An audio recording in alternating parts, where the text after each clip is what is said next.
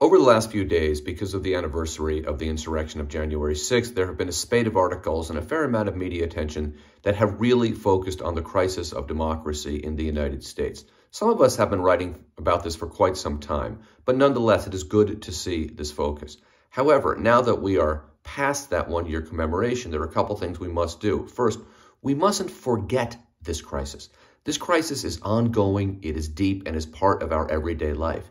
And when we when the media covers a debate over a policy in the House of Representatives or treats Donald Trump like a candidate running in 2024, which in fact he is, it must always be in the context of that crisis.